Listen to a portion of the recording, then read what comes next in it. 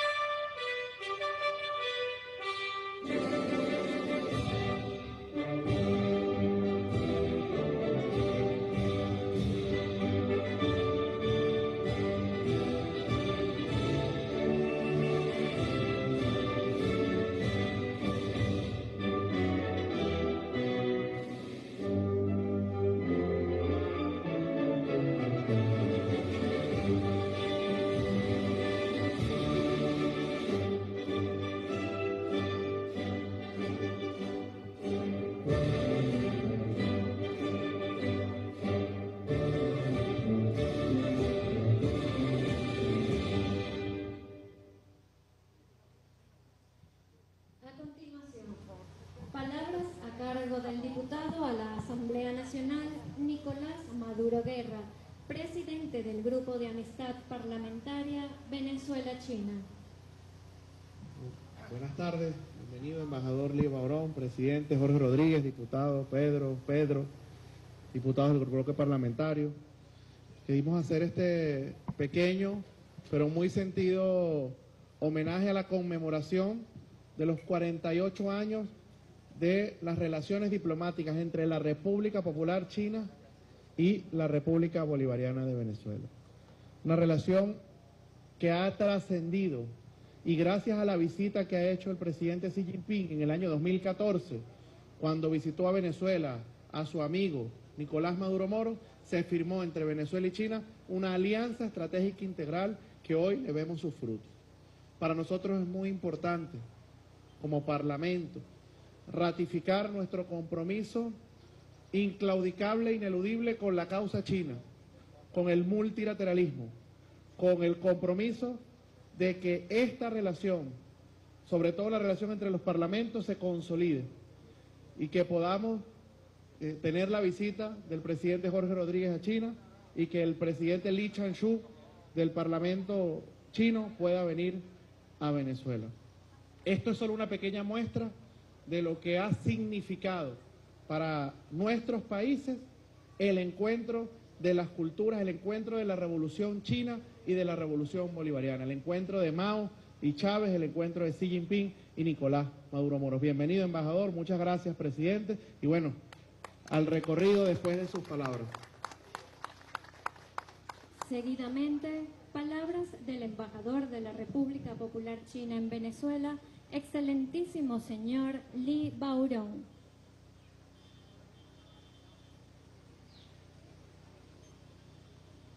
Excelentísimo presidente Jorge Rodríguez, excelentísimo presidente del Grupo Parlamentario Venezuela-China, muy estimados amigos diputados y también los paisanos que nos acompañan. Es un día en que celebramos el 48 aniversario de la fundación del establecimiento de las relaciones diplomáticas entre China y Venezuela. Más allá de la amistad, ya son muchos más años, puede remontar a un siglo y medio. Gracias a las grandes contribuciones, siempre lo recuerdo cuando llegamos a un nuevo aniversario de las relaciones diplomáticas, a las grandes contribuciones que ha hecho nuestro comandante Hugo Chávez por desarrollar estas relaciones en todos los campos entre ambos países.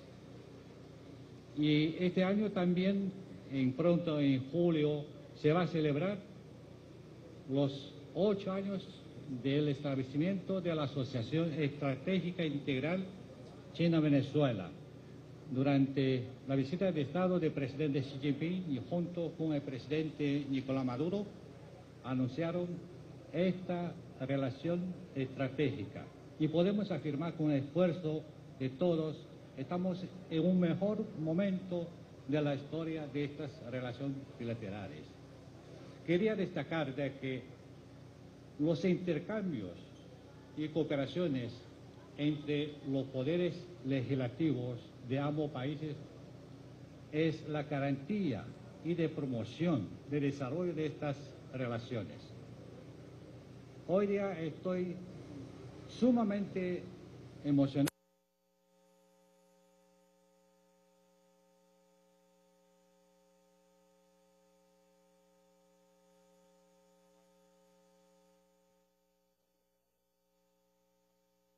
de nuestro, nuestros pueblos. Muchas gracias a todos. Bien, allí escuchamos.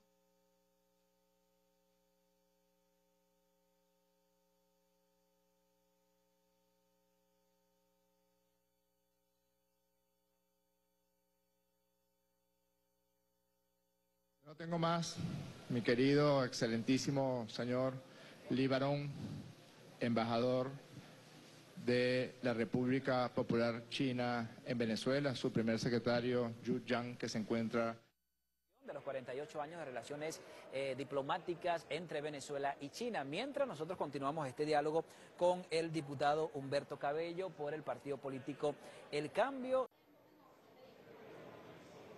3 y 27 minutos de la tarde, ahora nos trasladamos hasta los jardines de esta honorable Asamblea Nacional. Ahí vemos exactamente lo que está surgiendo desde los pasillos del Palacio Federal Legislativo. Recordemos que hoy se conmemoran los 48 aniversarios años desde que se inició este vínculo, estas relaciones eh, bilaterales y relaciones comerciales y diplomáticas entre la República Bolivariana de Venezuela y el gigante asiático, entiéndase como China. Veíamos también ahí hace pocos minutos que daba su entrada oficial ante los jardines el presidente de la Asamblea Nacional, el diputado Jorge Rodríguez. Él se refería, por supuesto, de muchos temas de interés, ratificaba ese compromiso por parte del Estado Nacional para con la República China. Relaciones además que se fortalecen desde 1974 y fueron ratificadas por el presidente Hugo Chávez Frías. Además, relaciones que ratifican estos compromisos entre el intercambio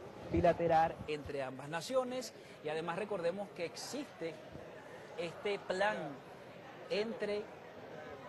Eh, eh,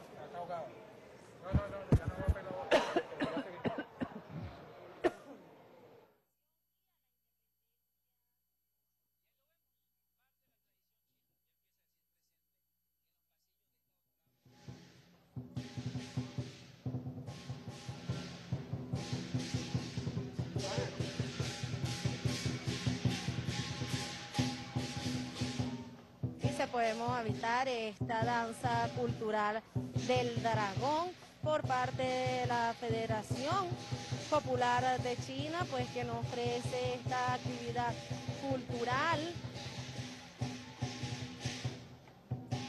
Y pues esta expresión se está reflejando ante el Parlamento Nacional y delante de las autoridades del Parlamento Nacional Legislativo.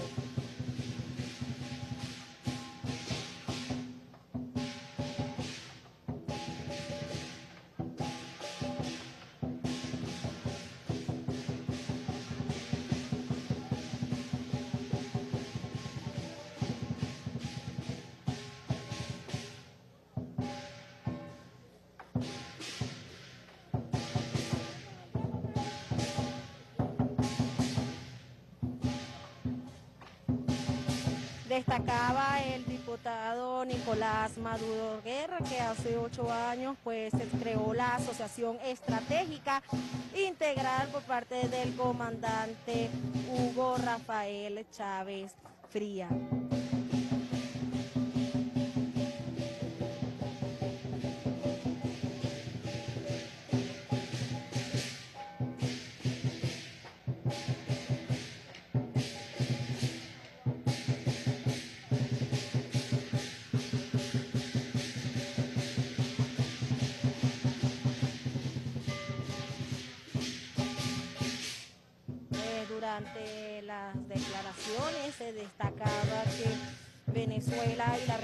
República Popular de China han establecido una gran relación que ha trascendido la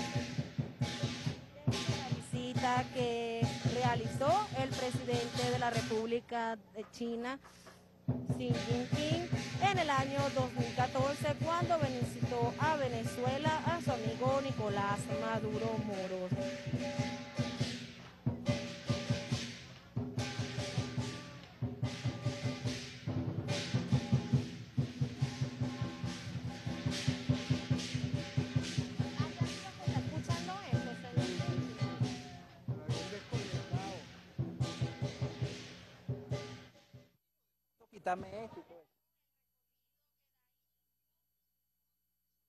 Exactamente 3 y 30 minutos de la tarde se suma a esta convocatoria, este recorrido histórico, tradicional, el presidente de esta honorable Asamblea Nacional, el diputado Jorge Rodríguez, quien además está saludando a las y los diputados quienes se han sumado a esta ruta histórica. Recordemos que hoy se conmemoran 48 años eh, desde el 28 de junio de 1974, entre que se fortalecieron las relaciones bilaterales entre el gigante asiático, entiéndase como la República Popular China, y la República Bolivariana de Venezuela. También era noticia recientemente, hace pocos minutos, que Jorge Rodríguez decía además desde el micrófono de los jardines que ratificaba ese compromiso para con la República China, además le tendía su mano y le agradecía por solamente, bueno, servir eh, como puente ante las medicinas, esto suscitado por la pandemia por el COVID-19.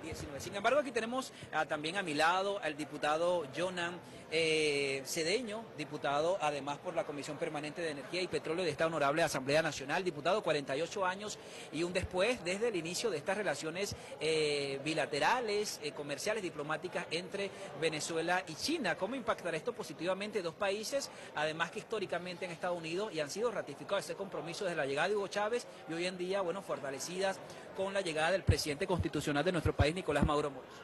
Sí, gracias por la oportunidad primeramente, amigo Daniel. Realmente nosotros creemos en, nosotros creemos totalmente en esta alianza, Por cierto, en esta alianza de cooperación integral entre Venezuela y la República de China. Recordamos que en el pasado 2014 el presidente Nicolás Maduro firmó con el presidente Xi Jinping lo que es esta alianza que ha dado muchos frutos, sobre todo en el tema contra la pandemia que acabamos de pasar. Escuchemos esta hora palabra del presidente de la Asamblea Nacional, Jorge Rodríguez. Hay quórum, ciudadano presidente. Se abre la sesión. Ciudadana subsecretaria, sírvase a dar lectura al acta de la sesión ordinaria del día jueves 23 de junio de 2022. Asamblea Nacional de la República Bolivariana de Venezuela, sesión ordinaria de fecha jueves 23 de junio de 2022. Previo anuncio de Secretaría de la existencia del quórum reglamentario, la primera vicepresidenta de la Asamblea Nacional, diputada María Iris Varela Rangel, declaró abierta la sesión ordinaria con la asistencia de la segunda vicepresidenta, diputada Vanessa Yune Montero López, la secretaria Rosalba Gil Pacheco, la subsecretaria Intinojosa Coronado, las diputadas y los diputados indicados en lista anexa. Acto seguido, la primera vicepresidenta ordenó dar lectura al acta de la sesión ordinaria del día martes 21 de junio de 2022, la cual, una vez leída y sometida a votación, resultó aprobada. A continuación, la primera vicepresidenta ordenó dar lectura a la cuenta. Se leyó el primer punto de la cuenta referido a comunicaciones suscritas por diputadas y diputados principales solicitando permiso para ausentarse e incorporar a sus suplentes. En el segundo punto de la cuenta se hizo referencia a comunicación suscrita por el fiscal general de la República, ciudadano Tarek William Saab, mediante la cual remite información sobre la determinación de responsabilidades que corresponden a los ciudadanos implicados en el caso Villa Zamora 21, Guatire, municipio Zamora del Estado Bolivariano de Miranda. La primera vicepresidenta or- ordenó remitir a la Comisión Especial para investigar actos fascistas en el país. Seguidamente, se dio el derecho de palabra para puntos de información a la diputada Nicia Maldonado Maldonado, quien rememoró los 187 años de la siembra de la nodriza del Libertador Hipólita Bolívar, conocida como la Negra Hipólita a los diputados Pedro Carreño y Alexander Cordero Graterol, quienes felicitaron a las abogadas y los abogados Diputados y diputadas. Continúe, su secretaria. Quienes felicitaron a las abogadas y los abogados en su día. La primera vicepresidenta ejerció el derecho de palabra y creó una comisión especial presidida por el diputado Pedro Carreño e integrada por el diputado José Gregorio Correa para la elaboración de un acuerdo de salutación al gremio de abogadas y abogados. Inmediatamente concedió el derecho de palabra al diputado Giuseppe Alessandrello, quien comunicó el inicio de la convocatoria pública para las postulaciones de candidatas y candidatos al cargo de defensora pública o defensor público general.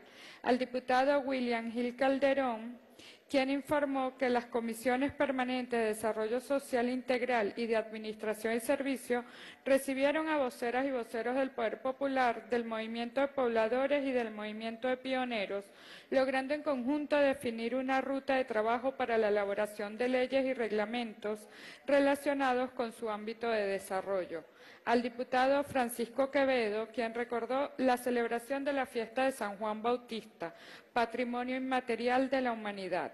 A continuación, la primera vicepresidenta ordenó dar lectura a la propuesta del orden del día, la cual, una vez leída, resultó aprobada.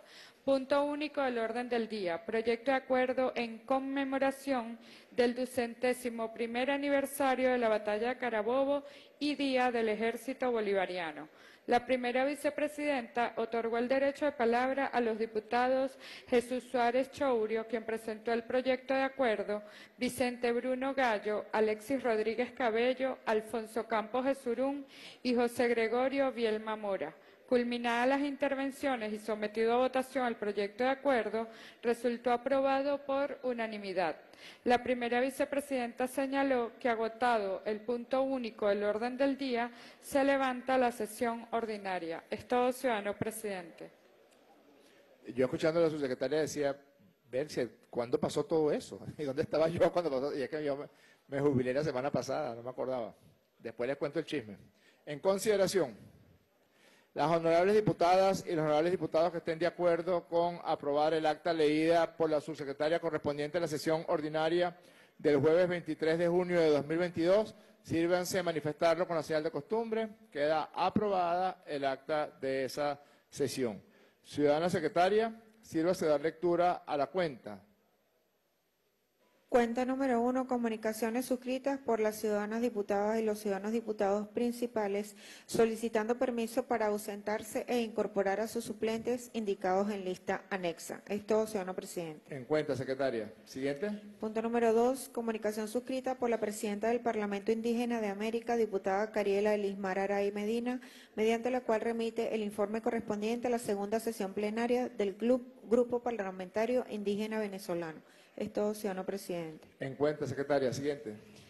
Comunicación suscrita por el ciudadano Juan Carlos Alemán Pérez, presidente de la Comisión Especial, para recopilar todas las enseñanzas y aportes del camarada diputado Darío Vía, mediante la cual solicita una prórroga por 30 días para presentar informe final.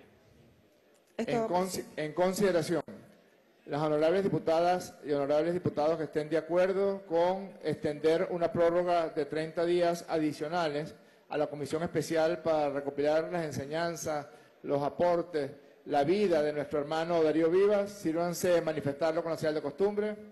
Queda aprobado. Se extiende el laxo por 30 días contados a partir del día de hoy. Diputado Juan Carlos Alemán, presidente de esa Comisión Especial. Siguiente punto de la cuenta. Agotada la cuenta, presidente. Vamos a dar unos espacios para derechos de palabra. Contundentemente breve que tenemos invitados hoy.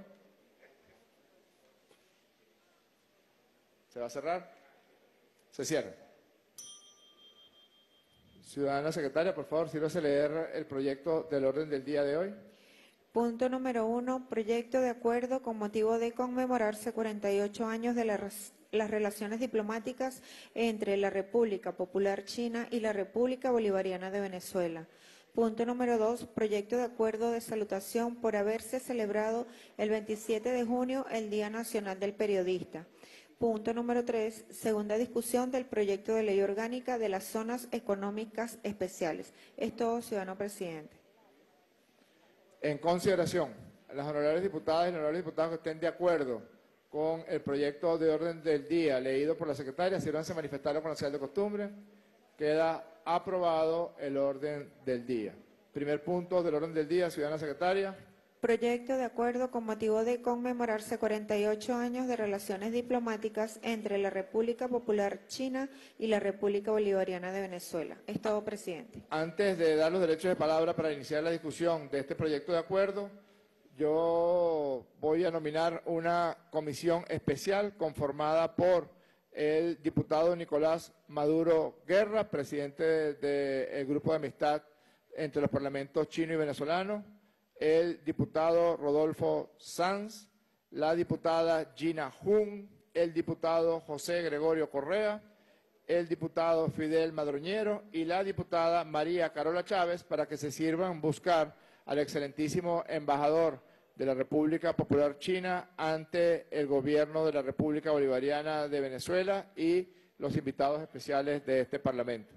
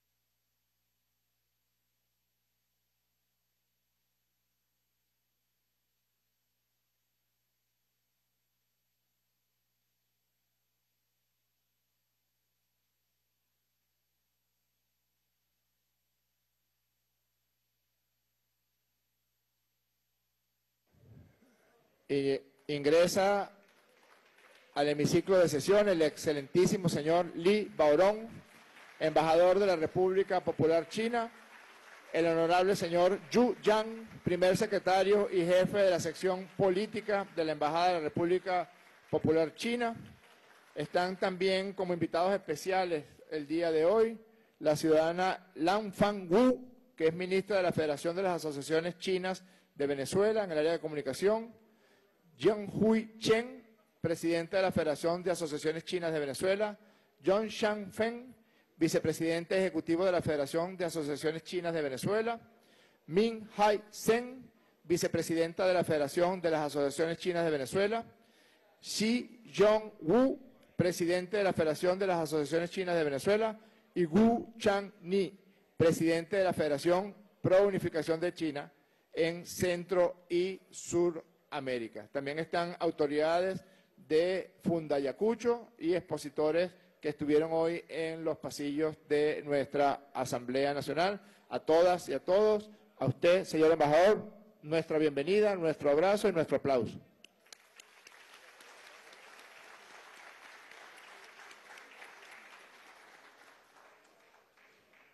Bien.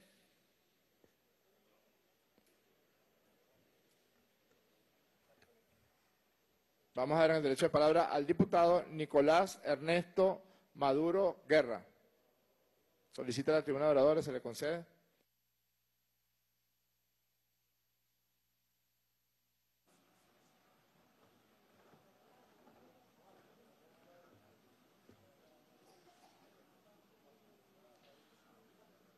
Buenas tardes. Honorable embajador, gracias por venir. Presidente de la Asamblea Nacional, hermanos, colegas, diputados y diputadas. Cuando el gran timonel Mao Zedong, primero de octubre del 49, proclamaba la República Popular China desde la Plaza Tiananmen, auguraba y veía hacia el futuro. Esa gente que ve hacia el futuro, como nuestro comandante Chávez, como Bolívar, que se imaginaba las generaciones futuras. Mao Zedong vio hacia el futuro y vio en lo que China se iba a convertir para el mundo. En una gran potencia, una gran potencia económica, en un país que superó el índice de pobreza para más de 1.500 millones de personas, en un país solidario. Y eso es lo que nos ha transmitido China a lo largo de estos 48 años de relaciones diplomáticas. Venezuela llegó tarde a China en el 74, en el siglo XX, pero en el siglo XXI Venezuela llegó muy temprano gracias al comandante Chávez y a su visión estratégica de ser uno de los primeros destinos en ir después de la gira OPEP. Comandante Chávez vio a China y a pesar de que geográficamente la distancia es grande, hoy China está más cerca que nunca de Venezuela. Hoy China está más cerca, no solo por ser un país que nos ha brindado tecnología, no solo por ser un país que nos ha brindado todo el apoyo político, no solo por ser un país que nos ha brindado la más grande y amplia asesoría en materia económica que ha permitido construir un plan de crecimiento económico, gracias a la ayuda del pueblo chino. No solo por los profundos lazos culturales que se han venido cultivando, sino por el profundo amor y lealtad que se han tenido los pueblos venezolanos al chino y los pueblos chinos al venezolano. Expresado en su máxima eh, cima, su máxima plenitud, cuando en el 2014 el presidente Xi Jinping viene a Venezuela y junto a su hermano y amigo, el presidente Nicolás Maduro Moro, firma la Asociación Estratégica Integral que ha unido aún más al pueblo chino y al pueblo venezolano. Nosotros, humildemente, viendo la experiencia, viendo la historia, humildemente como Mao Zedong, guardando las distancias, obviamente, aquel primero de octubre del 49, vemos hacia el futuro. Y vemos un futuro lleno de prosperidad.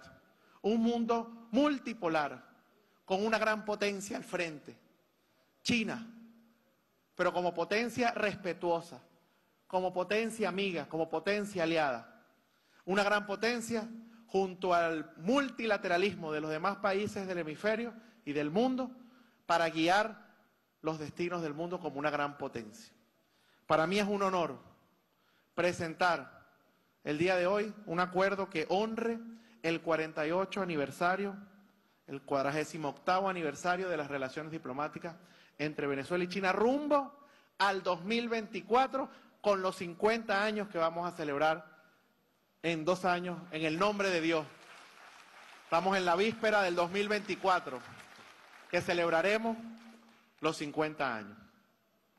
Acuerdo en conmemoración del 48 aniversario del establecimiento de relaciones diplomáticas entre la República Popular China y la República Bolivariana de Venezuela. Considerando que este 28 de junio del 2022 se cumplen 48 años del establecimiento de las fructíferas relaciones diplomáticas entre la República Bolivariana de Venezuela y la República Popular China. Momento histórico, propicio para celebrar los avances obtenidos en estos fraternales y amistosos lazos de amistad y cooperación, y que a partir del año 1999, bajo el mandato del comandante eterno Hugo Chávez Fría, se produjo el relanzamiento de esta, relación, que llevó a las dos repúblicas a una dimensión de cooperación y mutuos beneficios y que bajo la conducción del presidente Nicolás Maduro Moro y el presidente Xi Jinping elevaron la relación a una asociación estratégica integral. Considerando que, el perfil geoestratégico desarrollado entre ambas naciones dio como resultado la creación de la Comisión Mixta de Alto Nivel a partir del año 2001, con el aval de la suscripción de 502 acuerdos de cooperación en las áreas de industria, comercio, ciencia y tecnología aeroespacial, construcción de viviendas, desarrollo de programas agrícolas, sociales y educativos al más alto nivel. Y que esta cooperación científica tecnológica del gobierno chino, plasmado en solidaridad honesta y leal, hizo posible que Venezuela colocara en órbita su primer satélite en la historia, el satélite Simón Bolívar, siendo un hecho histórico y relevante para nuestra independencia comunicacional, así como los satélites de percepción remota Francisco de Miranda y Antonio José de Sucre. Considerando que la creación del Fondo de Inversión China-Venezuela ayudó a apalancar el financiamiento de proyectos de importancia estratégica para nuestro crecimiento y desarrollo económico, con independencia y soberanía. A su vez, el Fondo de Inversión avaló la conformación de empresas mixtas para la producción de petróleo en la faja petrolífera del Orinoco Hugo Chávez, en la constitución de las empresas BIT, Orinoquia, Betelca, Cherry, Hayer y Yutón, lo cual ha conllevado la transferencia tecnológica, aumentando así nuestra capacidad productiva.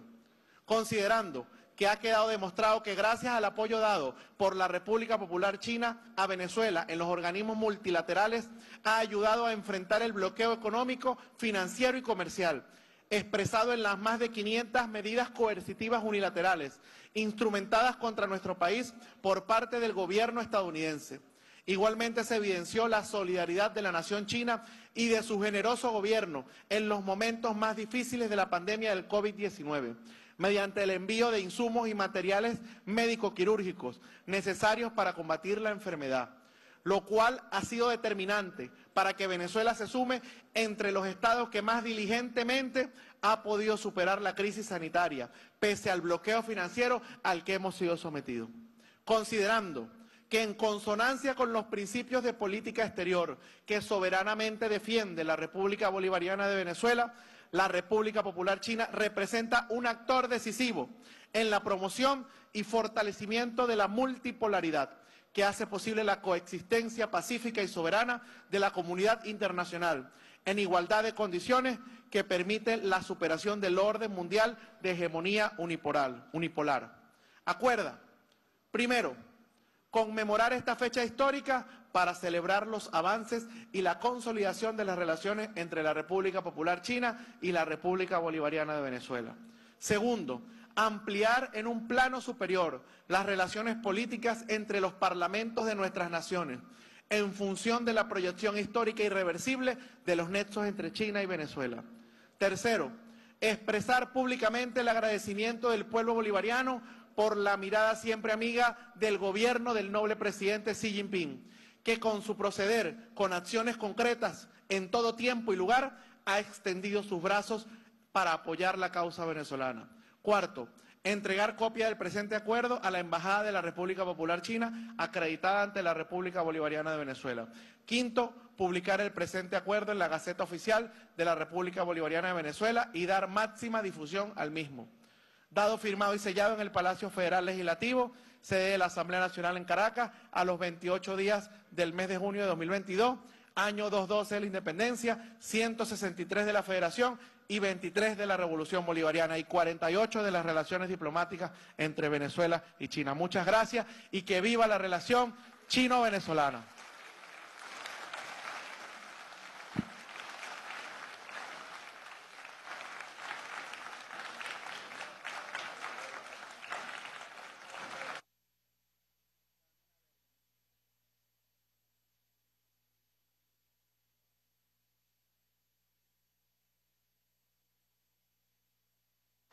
Dejamos derecho de palabra al diputado José Gregorio Correa.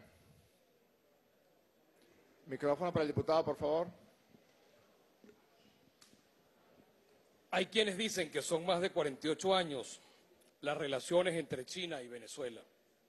Yo particularmente lo creo porque en investigaciones históricas encontramos que en el año 1936 se instaló un consulado general en Shanghái en el cual estuvo al frente el venezolano José Miguel Ferrer.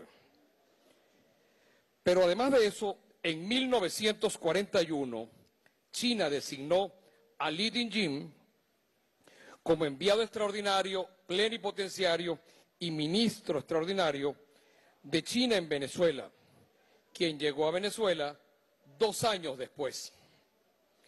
China es reconocida en la ONU en 1971 y enseguida, dos años después, el 28 de junio de 1974, se comienzan las relaciones diplomáticas entre ambos países.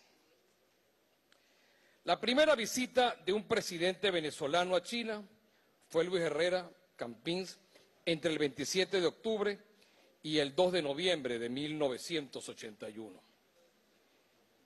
Y la primera visita de un presidente chino a Venezuela fue en el año 2001. Vino a Venezuela el primer presidente chino que visitaba nuestro país, Jiang Zemin. Hoy Venezuela tiene embajada en Beijing, consulado allí, consulado en Shanghai, consulado en Hong Kong. Evidenciamos que las relaciones son amplias y antiguas, útiles y necesarias, provechosas y beneficiosas para ambos países. Me siento orgulloso de ser amigo del pueblo chino. Me siento orgulloso de tener buenas relaciones con el pueblo chino. Desde hace muchísimos años, en lo particular lo hacía como abogado y como parlamentario en tiempos del Congreso y ahora en tiempos de Asamblea Nacional, he tenido excelentes relaciones con los chinos, con la cual me siento bastante contento y orgulloso. Debemos ampliar esta relación, señor embajador. Transmítale a usted a su gobierno nuestro agradecimiento. Hemos tenido una inmensa relación con el pueblo chino y no me quiero despedir sin antes agradecerle lo que hizo por nosotros China en tiempos de la crisis del COVID venezolano la vacuna china, la vacuna que llegó a Venezuela para mitigar el tema del COVID, fue útil, importante y necesaria. Venezuela tiene esa deuda con ustedes. Gracias por su ayuda, señor embajador. Hágale saber a su gobierno, en nombre de este Parlamento, que sabemos pedir, pero también sabemos agradecer. Muchísimas gracias.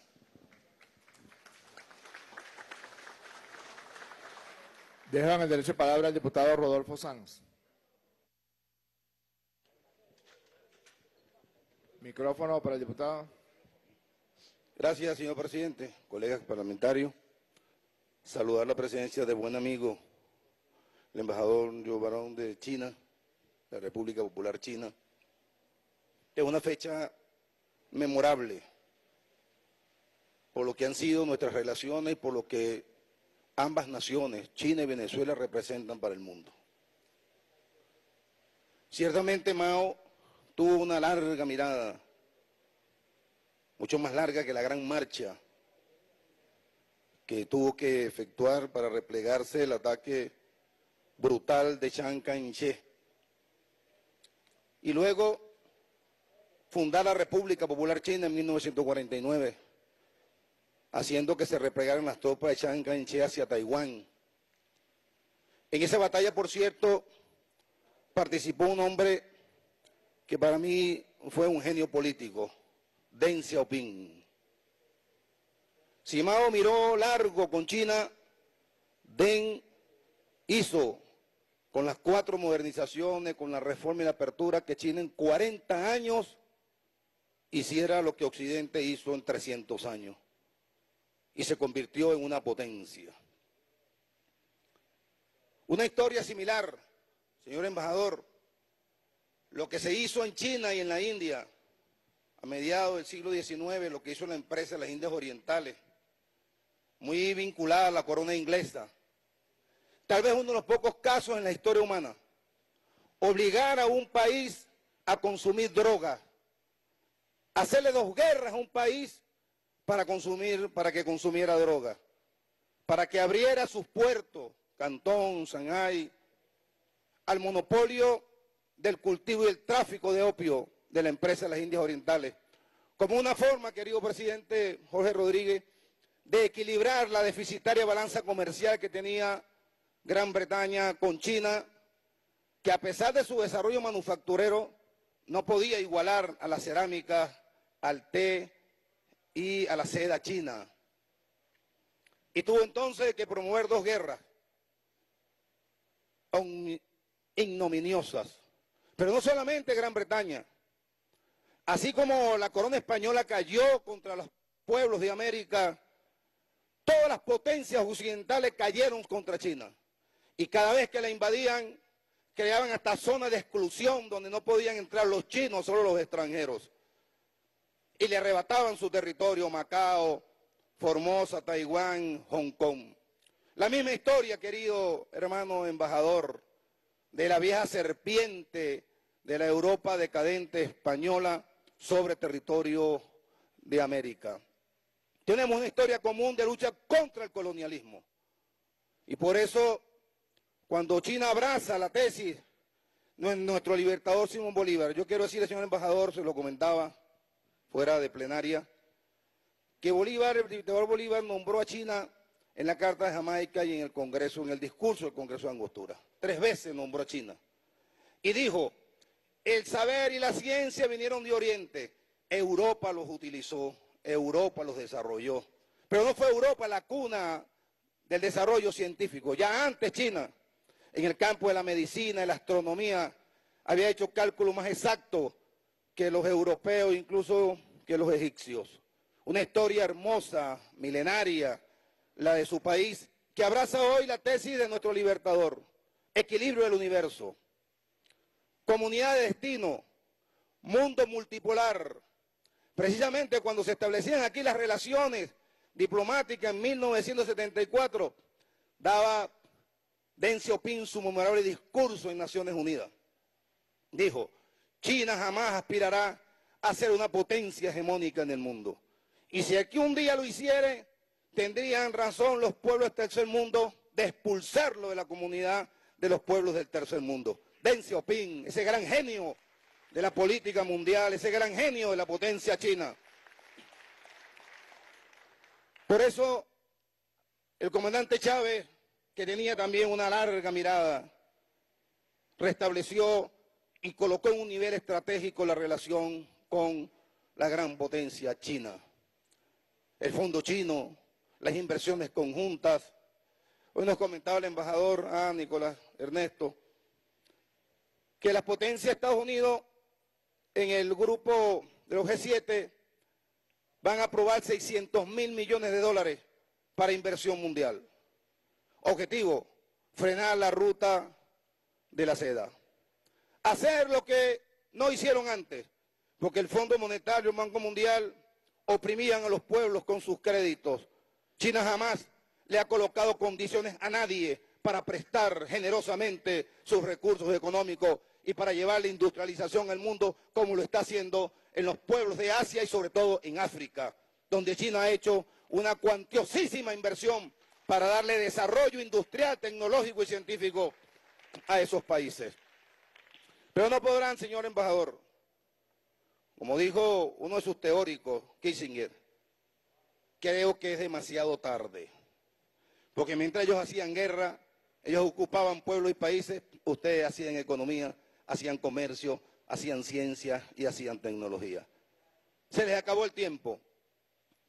Y rememorar estas relaciones para tratar de llevarla a más alto nivel a través de la política exterior del presidente Nicolás Maduro implica abrazarnos en la tesis de un mundo multipolar. Señor embajador, este mundo será lo que en gran parte China ayude a que sea. China es decisiva hoy para la reconfiguración de un nuevo orden mundial sin la hegemonía unipolar estadounidense. China, Rusia, Turquía, Irán, cada uno con su papel y Venezuela, con la tesis del mundo multipolar, con la tesis del equilibrio del universo de nuestro magno libertador Simón Bolívar. Eso es lo que hoy estamos celebrando, eso es lo que hoy estamos conmemorando. De verdad, gracias al comandante Chávez, que nos hizo mirar con precisión estratégica hacia China. Es a él a quien le debemos lo que hoy celebramos. Es al presidente Nicolás Maduro, ejecutor de buena parte de esa política, me consta, y hoy artífice de la política exterior de Venezuela por la construcción de un mundo multipolar. Vivan las relaciones entre China y Venezuela. Viva Mao Zedong, viva Deng Xiaoping, viva la gloriosa, la gloriosa patria china. Saludo, camarada embajador. Gracias, señor presidente y colegas parlamentarios. Discurso los diputados por el bloque de la patria para conmemorar los 48 años de relaciones entre China y Venezuela. Relaciones, por supuesto, traducidas en diferentes convenios en pro de ambas naciones. En consideración, las honorables diputadas y los honorables diputados que estén de acuerdo con aprobar el documento presentado con motivo de conmemorarse 48 años de las relaciones diplomáticas entre la República Popular China y la República Bolivariana de Venezuela.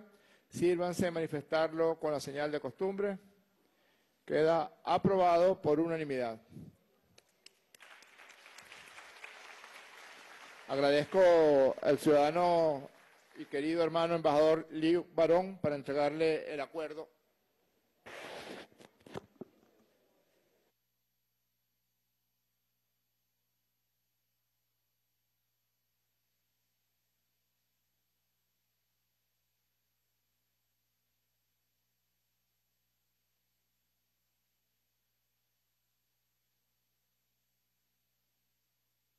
Se ha resaltado este compromiso eh, con la República Popular China, convenios que se fortalecen, hermandad desde el 28 de junio de 1974. El embajador de Venezuela se lleva a través de sus manos este acuerdo firmado y sellado por mayoría del Parlamento Nacional, donde se ratifica ese compromiso inquebrantable para con la República Popular China. Un compromiso además que data de más de 47 años, 48 años para ser exacto. Sigamos escuchando lo que aquí en la Asamblea Nacional surge con respecto al orden Se instruye a la misma comisión de diputadas y diputados antes mencionada para que acompañe a nuestros invitados especiales a los efectos de que abandonen el hemiciclo de sesiones.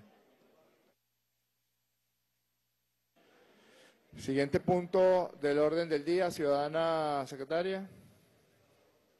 Punto número dos Proyecto de acuerdo de salutación por haberse celebrado el 27 de junio el Día Nacional del Periodista. Es todo, ciudadano presidente. Voy a dejar en el derecho de palabra al diputado periodista Ricardo González. presidente además de AN Televisión. Solicita la tribuna de oradores, se le concede.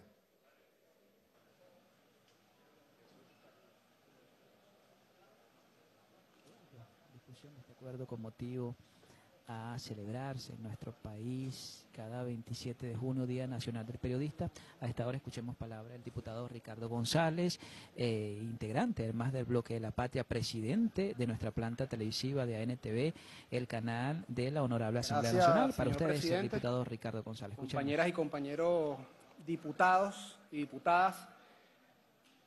Y bueno, feliz día del periodista con un día de, de atraso, ¿no? A todos los que ejercemos esta hermosa profesión. Feliz día, Tania. ¿Por qué no? Feliz día, compañero Mario Silva, que estaba por allí también.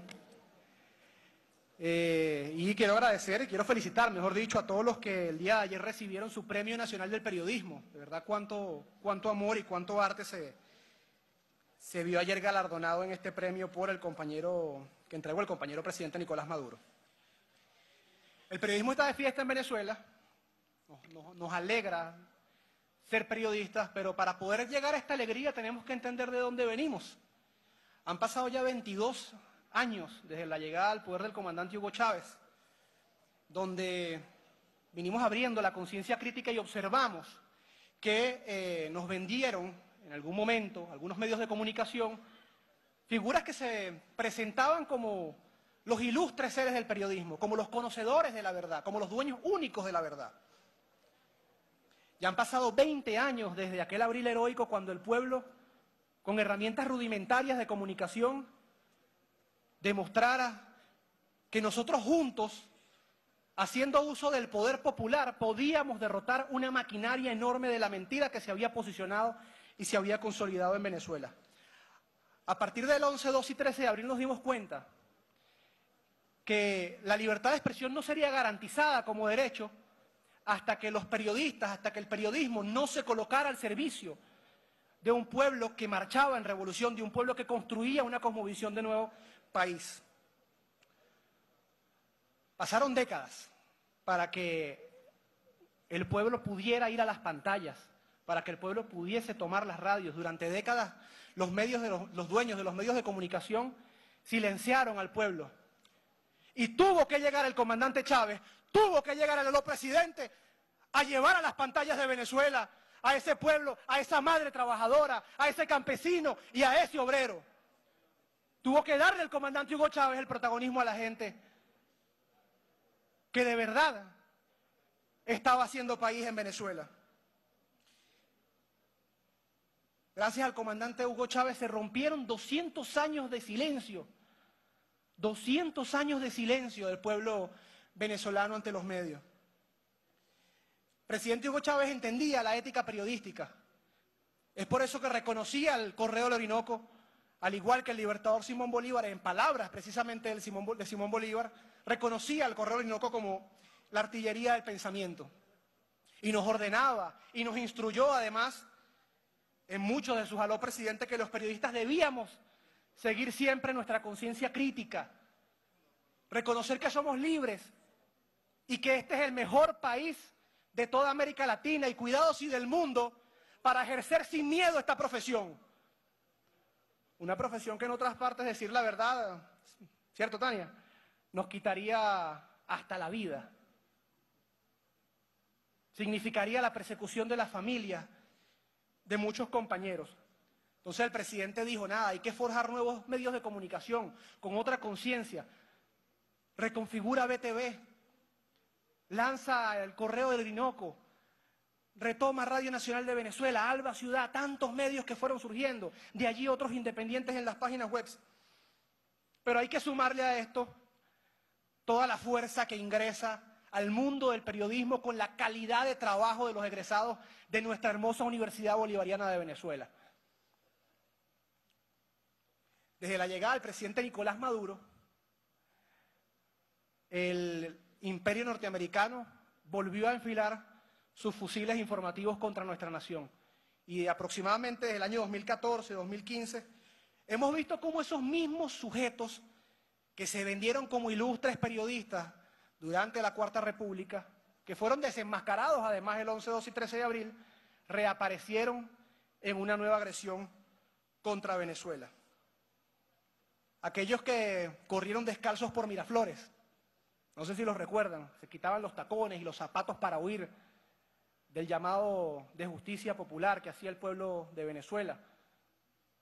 Aquellos que censuraron además la masacre de Puente Llaguno y que no quisieron simplemente voltear, voltear las cámaras para mostrar lo que le ocurría a nuestro pueblo, reaparecieron en el año 2015 silenciando los efectos y los daños que hacían a nuestro pueblo las medidas coercitivas unilaterales y los daños que además hacían el bloqueo, la usurpación de recursos de la nación y por último hasta defendieron grupos paramilitares.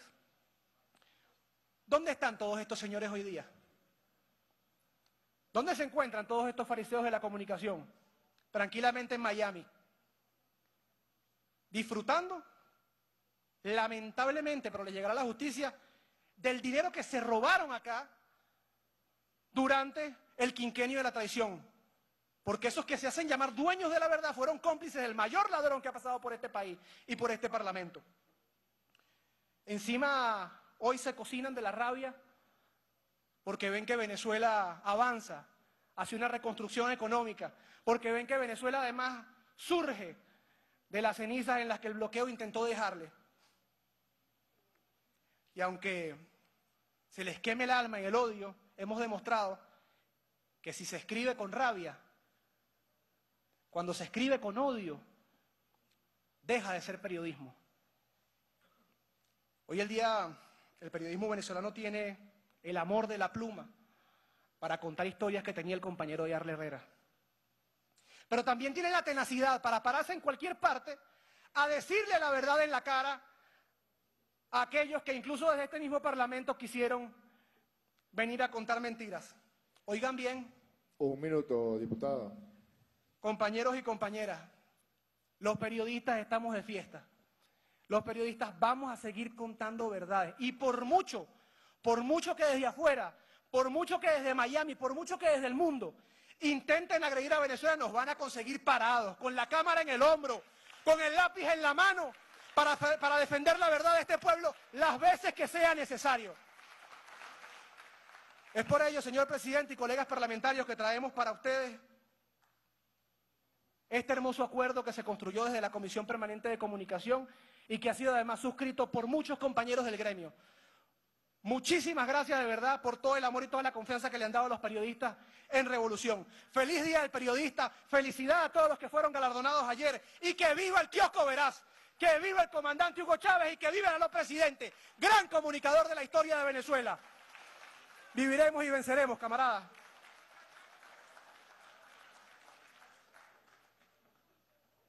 Gracias, diputado. Presidente de la Asamblea del Canal. Tenemos el derecho de palabra al diputado José Luis Pérez Tali. Solicita a la tribuna de oradores, se le concede.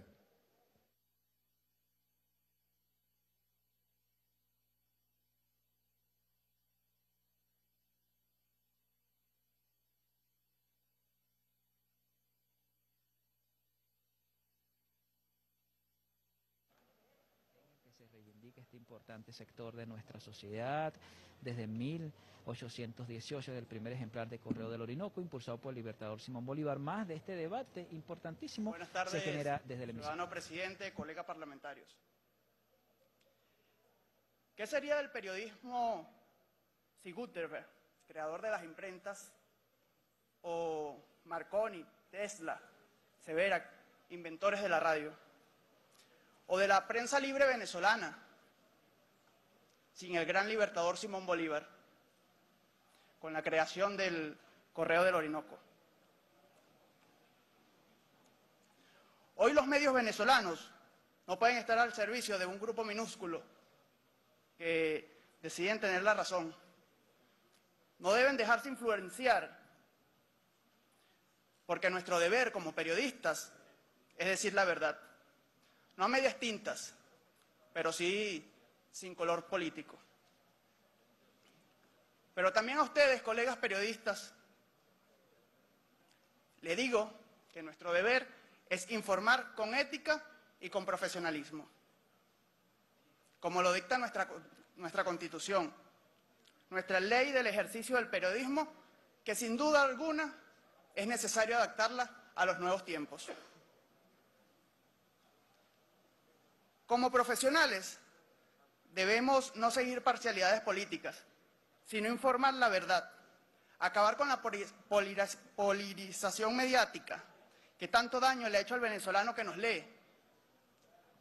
Porque acá no existen dos gobiernos, acá no existen dos fuerzas armadas, ni dos países. Existe un solo país, el cual merece respeto y periodismo de altura. La fracción opositora de este Parlamento, sin duda alguna, aprobará este acuerdo en conmemoración al Día del Periodista. Pero también exhortamos al gobierno, al Estado venezolano, a detener la censura contra los pocos medios impresos que quedan. El cierre de las emisoras de radio, de las televisoras, la caída de los portales digitales, portales que se han convertido en la nueva ventana del periodismo venezolano. Y también detener la represión contra hombres y mujeres que solo buscan informar la verdad no podemos olvidar a los periodistas presos y exiliados. Ellos también tienen la voz y derecho a la libertad.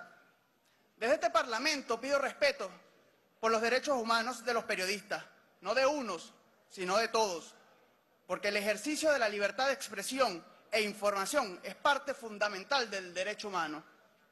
Así lo establece nuestra Carta Magna en el artículo 57 y 58.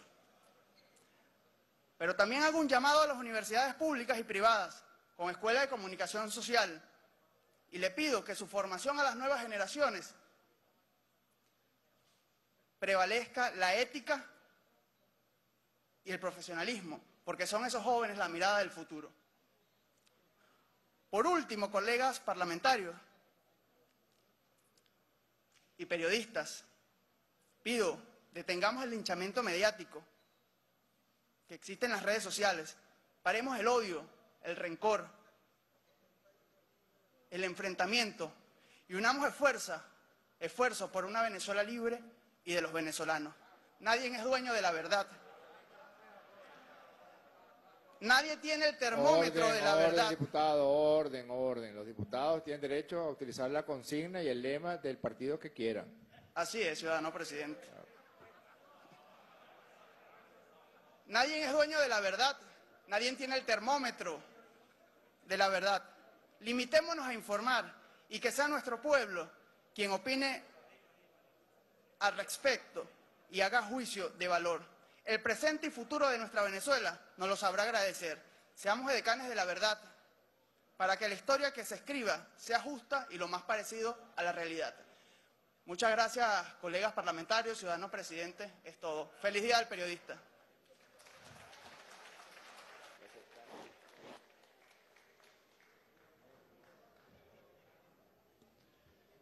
Voy a dejar en el derecho de palabra al diputado Juan Carlos Alemán. Micrófono para el diputado, por favor. Gracias, señor presidente, colega diputado, muy buenas tardes. Con el permiso, me voy a retirar el tapaboca. Yo creo que la premisa fundamental del Libertador, cuando crea el correo del Orinoco, se, se reduce en una expresión que dice, somos libres, escribimos en un país libre y no nos proponemos engañar al público. Fue la premisa de esa creación heroica del libertador que se utilizó fundamentalmente para contrarrestar el ataque realista que se utilizaba a través de la Gaceta de Caracas. Esa Gaceta de Caracas, que era el medio de comunicación que utilizaban los realistas para tratar de descalificar al ejército patriota y tratar de desmoralizar a la tropa. Es precisamente, y hago un reconocimiento a él en este momento, a Guillermo García Ponce, uno de los primeros periodistas que indica la necesidad de refundar la fecha de creación del Correo del Orinoco y la coloca para el Día del Periodista y la coloca para esa creación del, Correo del Orinoco un 27 de junio. Estaba preso, me recuerda aquí Soto Roja. Pero adicionalmente a eso, compañeros, nosotros no podemos hablar de libertad de expresión, de violación de derechos humanos, un derecho humano como es el derecho a la comunicación, un derecho de cuarta generación, sin recordar aquí hechos tristes, notorios y comunicacionales que vivimos. Quizás algunos por su juventud no lo recuerden, pero otros seguramente sí lo vamos, tenemos que hacer, recordárselo. Nosotros debemos recordar un 12 de abril, hace 20 años, cómo esos sectores poderosos de las transnacionales aplicaron todo lo que dijo el diputado que me antecedió, la censura, aplicaron un blackout informativo y mientras que el país está convulsionado, un 12 de abril, porque habían derrocado al presidente constitucional, esas transnacionales de la comunicación pasaban dibujos animados en la televisión. Eso sí era un blackout, eso sí era eh, negar el derecho a la información de los venezolanos y las venezolanas y del mundo.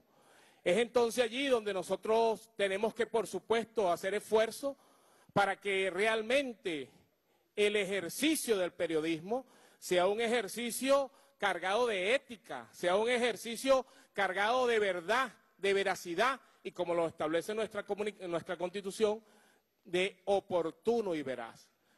No es aquí con discursos trasnochados, donde se trate de descalificar a un gobierno cuya fundamental acción ha sido promover la comunicación. Yo quiero informarle al pueblo venezolano que nosotros en este momento, en este país, mientras que estamos conversando acá, mientras que estamos en esta plenaria, en este país hay nada más y nada menos que 230 radios comunitarias que ejercen el derecho a la información veraz y oportuna del pueblo venezolano. Y eso es precisamente, y hay que reconocerlo, gracias a un hombre que tuvo la visión política de reconocer ese blackout informativo que hicieron esos sectores que niegan el derecho a la información y le dio el reconocimiento el presidente eterno comandante Hugo Chávez a los comunicadores alternativos y populares y por eso hoy en día tenemos esos medios alternativos y comunitarios. No puedo yo dejar de mencionar acá acciones contrarias a la democracia como las que se ejercen desde el Colegio Nacional de Periodistas.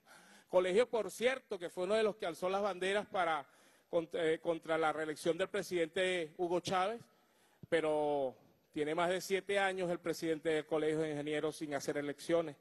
Y este Colegio de Ingenieros y este Colegio de, de Periodistas, a quien nosotros desde hoy aquí le hacemos un llamado, se niega a reconocer los títulos de la Universidad Bolivariana de Venezuela no le da el reconocimiento a los comunicadores que egresan de esta universidad. Se niega a reconocer el derecho que tenemos los venezolanos, porque es un derecho humano, el derecho a la información y a la comunicación, y se niegan desde este espacio. Entonces no podemos venir a hablar nosotros desde acá, desde esta tribuna, a venir a hablar de libertad de expresión, de violación a los derechos humanos. Yo creo que nosotros estamos en un momento importante en el que debemos recordar lo que decía el libertador Simón Bolívar, cuando le decía a Fernando Peñalver, un patriota de la, de, la, revolución, de la, de la independencia, le decía, mande usted de un modo u otro una imprenta que es tan útil como los pertrechos. Nosotros hoy, desde este Parlamento, le decimos a los, a los comunicadores comunitarios y alternativos, mantengan ustedes la tribuna, mantengan ustedes la información veraz a través de esos micrófonos que para nosotros es tan importante como un petrecho en esta guerra comunicacional que tienen esos sectores y esas transnacionales. Hoy más que nunca nosotros ratificamos el principio y el derecho a la comunicación veraz y oportuna que se ejerce desde la revolución bolivariana, desde la llegada de la revolución bolivariana, porque aquí no hay, como en otros tiempos donde los presidentes amenazaban a los periodistas. Aquí lo que hay hoy en día es libertad de expresión para que cada quien en el ejercicio de ese derecho diga lo que tiene que decir. Así que hoy, más que nunca, nosotros decimos que somos libres, soberanos e independientes y aquí hay un derecho a la información veraz y oportuna gracias a la Revolución Bolivariana. Es todo, señor presidente, colegas diputados. Gracias, diputado.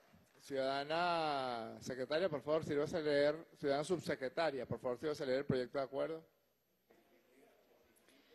Asamblea Nacional de la República Bolivariana de Venezuela. Acuerdo de salutación a las y los periodistas por celebrarse el Día Nacional del Periodista. Considerando que cada 27 de junio se celebra en la República Bolivariana de Venezuela el Día Nacional del Periodista, en reconocimiento a la labor de hombres y mujeres que dedican su vida a garantizar el derecho a la información libre, oportuna, veraz e imparcial de los ciudadanos y las ciudadanas, considerando que dicha celebración se gesta a razón del 27 de junio de 1818, cuando el padre de la patria, el libertador Simón Bolívar, lanzó la edición del primer órgano de difusión impreso, El Correo del Orinoco, cuya finalidad fue y sigue siendo desarrollar la conciencia por la paz, la libertad, la independencia nacional, el amor a la patria naciente, el pensamiento crítico y la consolidación de la lucha antiimperialista representada para la época por la corona española.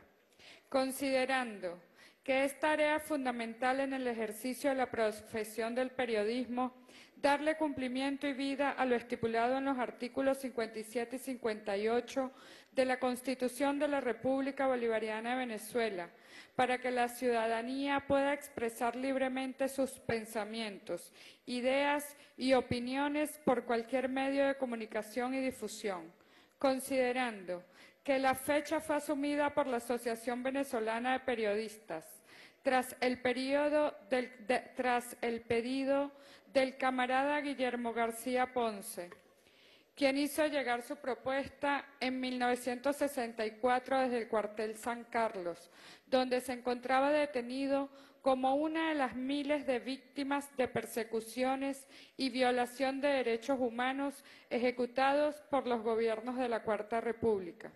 Igualmente, fue acogida la propuesta por el Colegio Nacional de Periodistas y posteriormente ratificada en la Ley de Ejercicio del Periodismo en 1994 como Día Nacional para enaltecer la labor realizada por estos profesionales, considerando que existe la imperiosa necesidad de resaltar la labor de las y los profesionales del periodismo y de la comunicación en general, que tienen como principal valor inalienable la ética periodística y que ese reconocimiento les sirva como estímulo para elevar el espíritu siempre renovador de comunicar la verdad con vocación de servicio y responsabilidad, verificando previamente todas las fuentes de información para comunicar oportunamente a la sociedad venezolana.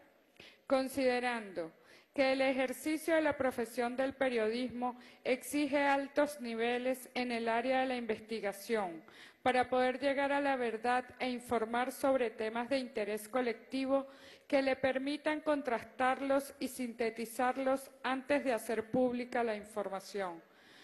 Considerando que el Día del Periodista en Venezuela es una fecha que renueva el compromiso ético, moral y profesional del comunicador social, con el principio de la defensa de la verdad y de la comunicación insurgente, que nos convoca para construir nuevas formas de comunicación que exigen estos tiempos históricos, cuando se establecen nuevos métodos de guerra en el mundo con el arte de la palabra y la pluma. Acuerda. Primero, reconocer y enaltecer la labor del periodista y los comunicadores venezolanos que cumplen eficientemente con el ejercicio de su profesión, informando oportuna, veraz e imparcialmente los sucesos más relevantes del acontecer nacional e internacional. Segundo, destacar el aporte y contribución que hacen las y los periodistas y comunicadores venezolanos en el desarrollo histórico, político y social de nuestro país, cuando en el ejercicio de su profesión le dan cumplimiento a los artículos 57 y 58 de la Constitución de la República Bolivariana de Venezuela, garantizando que la ciudadanía pueda expresar libremente sus pensamientos, ideas y opiniones por cualquier medio de comunicación y difusión, garantizando por estos medios el funcionamiento efectivo de una democracia social, participativa y protagónica. Tercero, publicar el presente acuerdo en la Gaceta Oficial de la República Bolivariana de Venezuela y dar máxima difusión al mismo. Dado, firmado y sellado en el Palacio Federal Legislativo, sede de la Asamblea Nacional en Caracas, a los 28 días del mes de junio de 2022. Años 211 de la Independencia, 163 de la Federación y 23 de la, de la Revolución Bolivariana. Es todo, ciudadano presidente.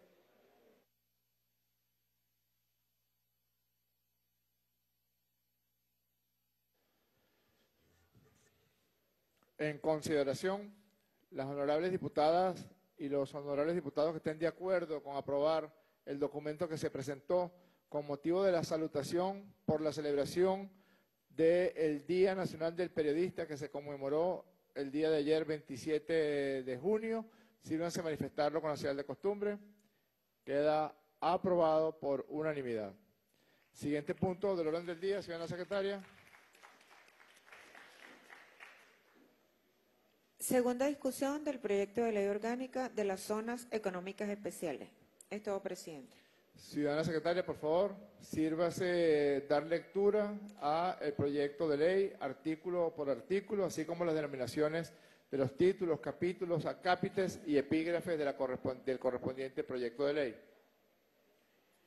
Título de la ley. Ley orgánica de las zonas económicas especiales. Es todo, ciudadano presidente. En consideración el título. Aprobado. Siguiente. Acápite, capítulo 1, disposiciones generales. En consideración al acápite, aprobado. Siguiente. Epígrafe, objeto. En consideración al epígrafe, aprobado. Siguiente. Artículo 1. Esta ley tiene por objeto regular la creación, organización, funcionamiento, administración y desarrollo de las zonas económicas especiales, así como los incentivos económicos, fiscales y de otra índole que resulten aplicables en función de un modelo de desarrollo económico soberano y de producción nacional, que garantice el encadenamiento productivo, la seguridad jurídica, la justicia social y los medios ambientalmente sustentables. Es todo, ciudadano presidente. En consideración, artículo 1. Diputado Rondero. Sí, presidente, en nombre de la Alianza Democrática nosotros vamos a apoyar los objeto de la ley y consideramos que es muy importante el tema de los incentivos fiscales, el tema de la creación de zonas económicas especiales, el tema de eh, la garantía de la inversión en estas zonas en determinadas regiones del país para el desarrollo de estas, por sus características especiales, bien por su condición de insularidad, como el caso del Estado de Nueva Esparta, bien por las condiciones de, otra, de otros sectores donde se presta para la promoción de la industria, la tecnología, etcétera. Consideramos que este proyecto de ley y el objeto de ella, eh, previsto en este artículo 1, definitivamente redunda en el beneficio del país y en el beneficio de esas zonas en concreto que se van a establecer como zonas económicas especiales. Por eso contarán con nuestro voto en todo el contenido de la ley, haciendo las observaciones que tengamos en cada uno de los artículos. Es todo, señor presidente. Gracias, diputado. Diputado Figuera.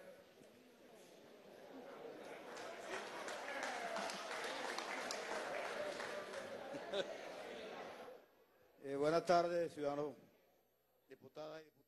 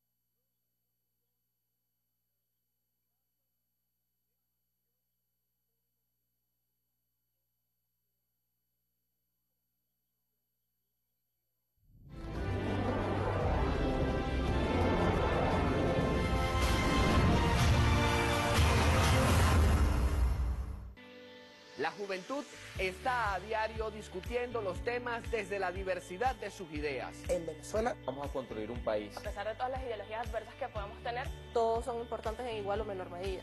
Por eso, ANTV tiene un espacio para que tú puedas opinar todos los lunes a través de ANTV, donde la juventud es protagonista.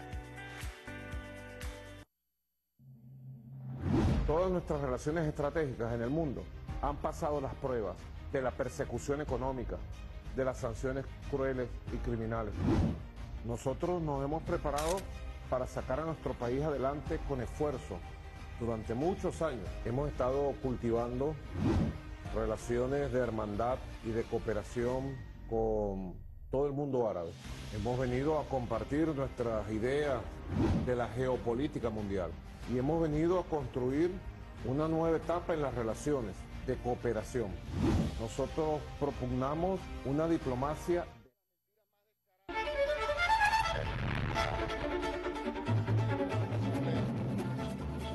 La afirmación que acabamos de escuchar de que con esta ley se pretenda hipotecar la independencia del país.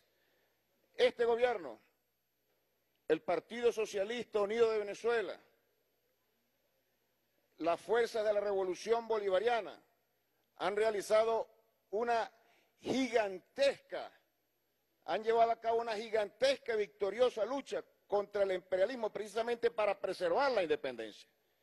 Y en función de esa independencia es que estamos proponiendo la aprobación de una ley que va a permitir el desarrollo de las fuerzas productivas para lo que planteaba el comandante Chávez, que es la soberanía plena, la independencia absoluta de nuestra patria, se pueda consumar, así como tenemos independencia política, diplomática, tenemos que alcanzar también la independencia económica y productiva. Y aquí en esta ley, en ningún lugar aparece que nosotros vamos a destinar territorio sagrado de nuestro pueblo para la explotación de las grandes compañías transnacionales. No se olviden en qué coyuntura estamos.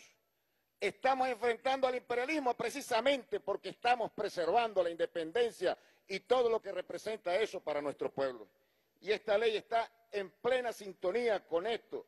La principal tarea que tenemos nosotros en los actuales momentos es el desarrollo económico, después de haber vencido en lo diplomático, en lo político y en lo militar a los enemigos de la patria y al imperialismo.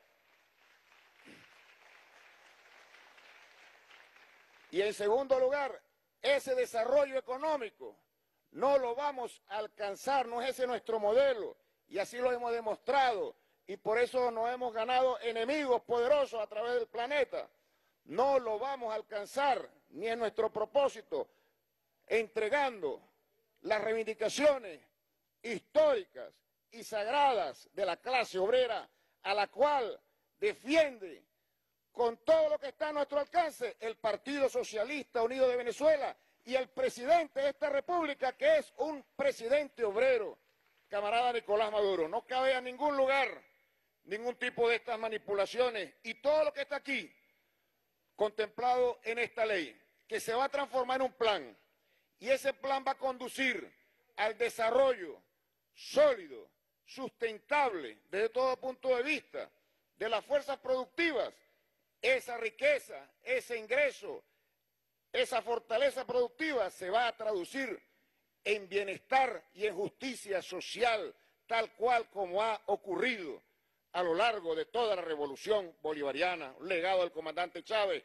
y ese legado es una bandera que nosotros no dejaremos caer bajo ninguna condición. Este, este, este proyecto, esta ley que nosotros estamos proponiendo para su aprobación hoy, ha sido debatido ampliamente por todo el pueblo venezolano, por todos los sectores de la población, empezando por el movimiento obrero, por todos los sectores de los trabajadores. Y aquí sí hay claridad política, sí hay claridad de clase, en dos sentidos. Número uno, absoluta confianza con una fuerza política que abraza el socialismo y lo construye, derrotando a los grandes enemigos de la patria y que encabezan el Estado. el Estado revolucionario. Y en segundo lugar, absolutamente ningún tipo de acuerdo, de vínculo y de sometimiento a todos aquellos a, que se oponen, a los que se oponen a que esta patria pueda resurgir de la resistencia y pueda construir el socialismo. Lenin decía, para finalizar, querido camarada, Lenin decía que todos los países van a construir el socialismo y todos lo harán de acuerdo a sus condiciones concretas, a sus condiciones históricas específicas. Nosotros lo haremos aquí también en Venezuela, superando las grandes adversidades y sobre todo poniendo a la clase obrera al frente, a la vanguardia de este proyecto. Hoy acabamos de recibir al embajador de la República Popular China, donde hay decenas de zonas económicas especiales, donde gobierna el Partido Comunista de China y donde hay una perspectiva de socialismo. Y nosotros orientándonos en las experiencias favorables, esa es una de las experiencias que tomamos en cuenta para adaptarlas a nuestras condiciones. Por cierto, ahí gobierna el Partido Comunista de China. Es todo, querido presidente. Muchas gracias, diputado.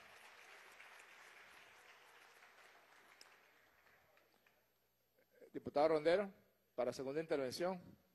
Sí, presidente, solamente para dejar muy claro que aquí no se establece ninguna zona de exclusión con un régimen laboral distinto al previsto en el resto del país. El régimen laboral es el aplicable en todo el territorio nacional, idéntico a todos los trabajadores. Segundo, no se establece ningún régimen de exclusión a favor de ninguna, de ninguna, eh, de ninguna fuerza imperial o de ningún, o de ningún agente extranjero.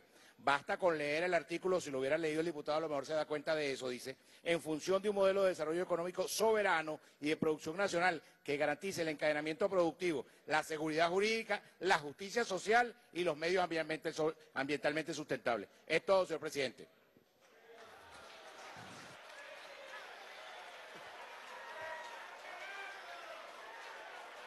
Orden, orden, orden.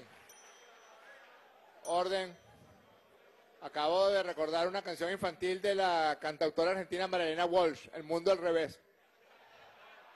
Me dijeron que en el reino del revés. Listo, listo, diputado. He estado hoy demasiado condescendiente porque eh, la semana pasada no vine, pero ya se me acabó la condescendencia. Artículo por artículo, por favor, para la próxima, diputado.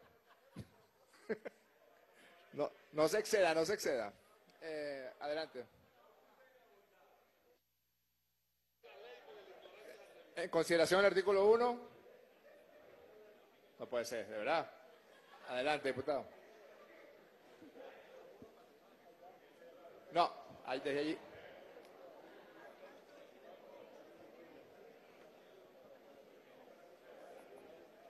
Buenas tardes, hermanos y hermanas diputados y diputadas. Quienes pretendieron entregar los intereses generales de la República fueron los violentos del extremismo que hoy tienen miedo, no los parlamentarios, como lo dijo el diputado Ronderos, que de manera positiva porque tenemos clara concepción del avance de lo que representa la ley especial de zonas económicas, no solo para el desarrollo económico y social de Venezuela, sino para la prosperidad de nuestros hijos, de nuestras hijas, de nuestra familia y de toda Venezuela. Solo desde la democracia cristiana le vamos a agregar dos aspectos a este artículo como aporte positivo en convicción de que este instrumento legal constituye no solo garantía al territorio, a la soberanía, a los derechos humanos y específicamente de los trabajadores y trabajadoras que tengan la oportunidad de desempeñarse en el desarrollo o fomento de cualquiera de las zonas económicas que establece la ley. El líder de la revolución bolivariana, porque hay que decirlo, habló no solo del desarrollo, habló del desarrollo integral, no del simple desarrollo, y lo dijo en el Vigía, en el municipio Alberto Adriani del Estado Mérida, cuando precisamente iniciaba su enfoque, su ambiciosa y pensamiento visionario de hablar de la zona de desarrollo endógeno. Y él, por cierto, tuvo la visión de hablar en la zona sur del lago del Vigía de China, porque tenía la visión puesta en este gran objetivo preponderante cuyo privilegio tiene la democracia cristiana y todos los parlamentarios de Venezuela, de defender no solamente la soberanía, sino que este instrumento que va a permitir, va a permitir la fortaleza del Estado, va a impulsar la capacidad productiva de Venezuela, de los sectores de la economía y en un sentido incluso espacial.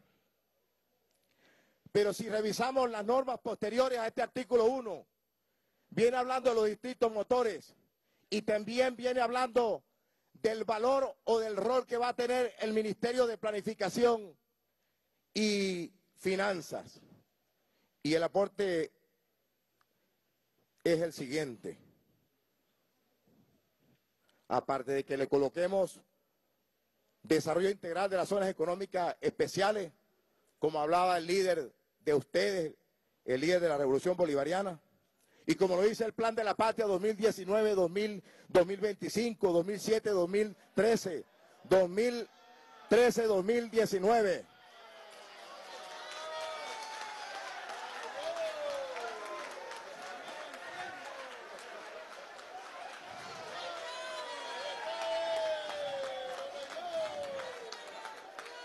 Como dice la Constitución, porque esta ley viene a evidenciar la consagración constitucional.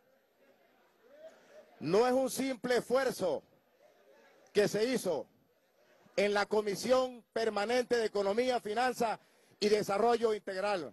Un minuto, Fue un esfuerzo. Un minuto, diputado. Gracias. Fue un esfuerzo. orden, diputado, orden. Fue un esfuerzo que se hizo para contribuir al fortalecimiento de los intereses generales de la República. Y lo que debe agregarse es lo siguiente.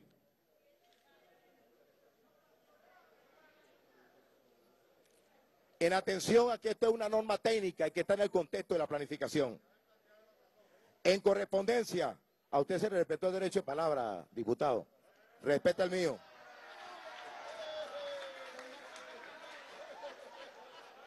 No le acepto falta de respeto a nadie.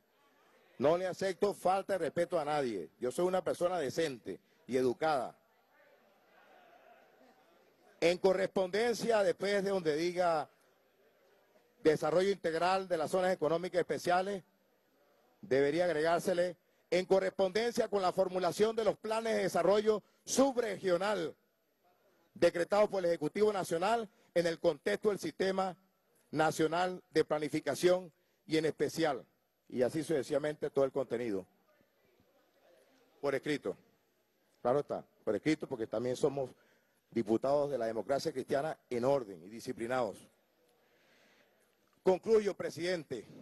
Desde la democracia cristiana, saludo a la directiva de este Parlamento y la directiva de este Parlamento cuenta con el debido respeto de la democracia cristiana.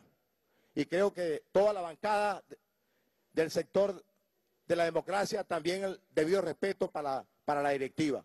Nosotros no somos saboteadores. Somos gente que estamos en un esfuerzo permanente, vigorosamente, en atención a consolidar el plan legislativo nacional. Es todo, presidente, y gracias por el privilegio de otorgarme el derecho de palabra. Gracias, diputado. Miren, eh, estamos en la segunda discusión. Yo les pido disculpas a las diputadas y a los diputados porque en, en, un arresto de ligereza he permitido derechos de palabra que no se permiten en la segunda discusión de un proyecto de ley.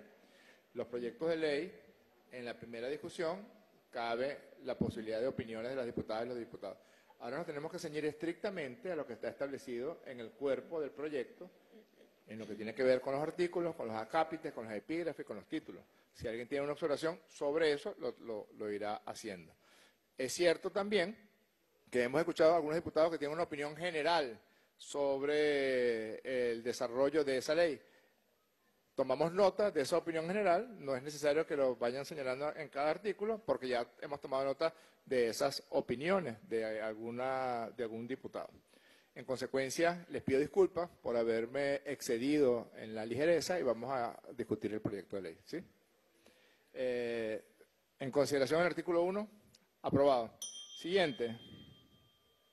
Acápite, capítulo 1, disposiciones generales. Perdón, disculpe. Mm. Epígrafe, ámbito de aplicación. En consideración el epígrafe, aprobado. Siguiente. Artículo 2. Esta ley es aplicable a las personas jurídicas, públicas, privadas, mixtas y comunales, nacionales o extranjeras, que participen en las zonas económicas especiales, así como a los órganos y entes del Estado vinculados directa e indirectamente con su desarrollo. Es todo, presidente. En consideración, aprobado. Siguiente. Epígrafe, principios. En consideración el epígrafe, aprobado. Siguiente. Artículo 3. Esta ley se rige por los principios de soberanía económica, seguridad jurídica, justicia social, perdón, desarrollo humano, desarrollo económico y social de la nación, sustentabilidad, factibilidad, equilibrio económico y ambiental, sostenibilidad fiscal y de ingresos externos, planificación pública, popular y participativa, eficiencia, productividad, complementariedad, simplificación de trámites administrativos, corresponsabilidad, honestidad, transparencia y solidaridad. Es todo, señor presidente. En consideración, diputado Rondero. Este artículo 3 que establece los principios generales que, eh, que, desarrolla- que luego la ley desarrolla son muy importantes porque establece cuáles son las grandes normas o las los grandes principios en función de los cuales la ley se desarrolla. Habla de soberanía económica, seguridad jurídica, justicia social, desarrollo humano, desarrollo económico y social, sustentabilidad, factibilidad, equilibrio económico, sostenibilidad fiscal, planificación pública, popular y participativa, eficiencia, productividad, complementariedad, simplificación de trámites administrativos, corresponsabilidad, honestidad, transparencia y solidaridad. Principios todos estos que ningún venezolano de buena fe puede oponerse, en virtud de lo cual nosotros vamos también a votar favorablemente el artículo 3 en función de los principios que inspiran a la ley. Gracias, diputado. Pero con haber dicho que, que no estaba en contra, era suficiente, pero muchas gracias. Correcto. Siguiente punto. Epígrafe, definiciones. En consideración. Aprobado. Eh, siguiente, secretaria. Artículo 4.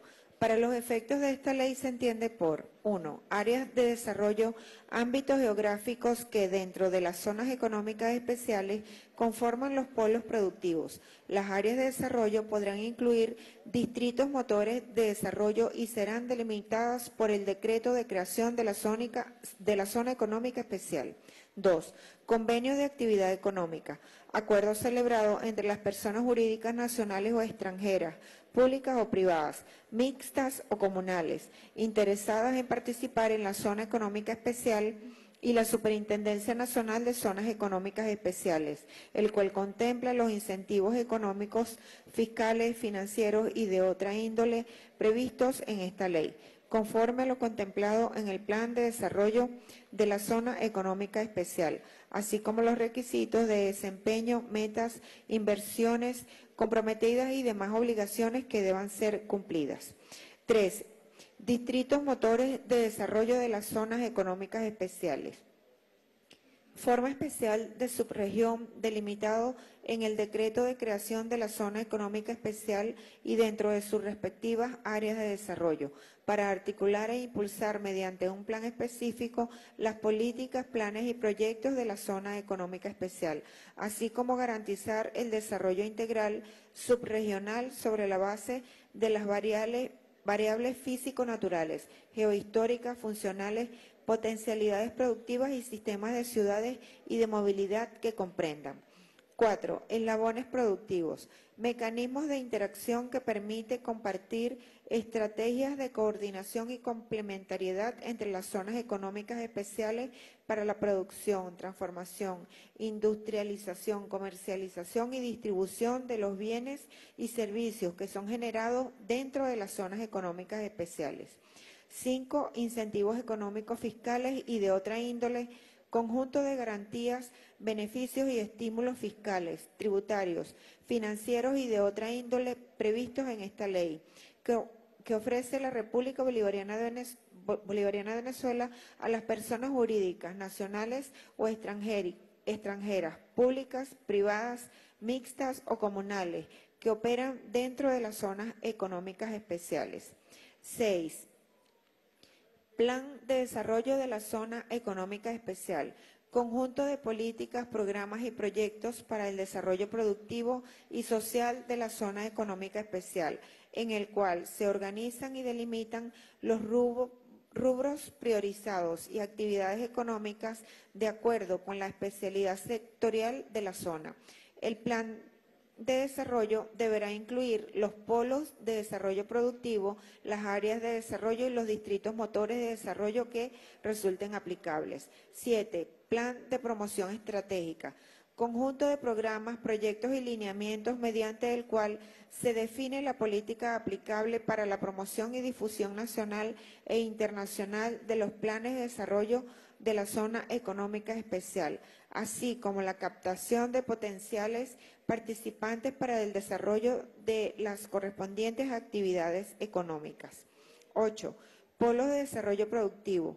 Espacios geográficos previstos en el decreto de, de creación de la zona económica especial, donde se asientan y organizan las actividades económicas que conforman las áreas de desarrollo que regula esta ley, los cuales estarán delimitados por medio de un sistema de coordenadas, planes de desarrollo, proyectos de participación y de articulación en estos espacios con, las estructuras industriales y productivas de la nación que en ellos existan.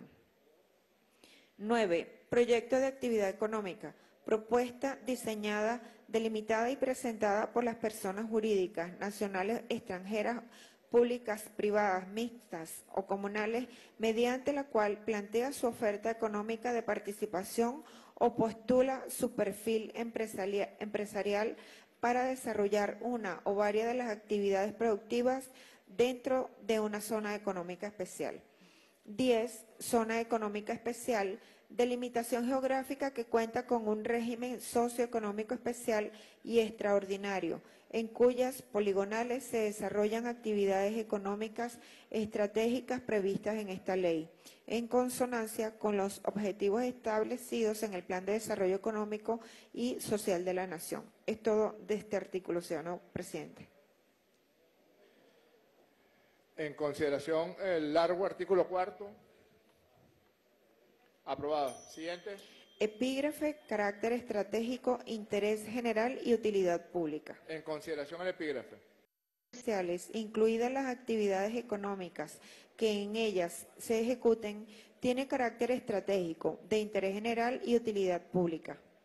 En consecuencia, las personas jurídicas, bienes, servicios y actividades que constituyan las zonas económicas especiales asumen una regulación especial de garantías incentivos y protección económica, financiera, fiscal, jurídica y comercial, así como el deber de observancia y cumplimiento de las directrices, lineamientos, políticas, normas y procedimientos previstos en esta ley y en el decreto de creación de la zona económica especial, incluyendo aquellas que en materia de soberanía, independencia, autodeterminación, seguridad, defensa y desarrollo integral de la nación sean dictadas por el Ejecutivo Nacional.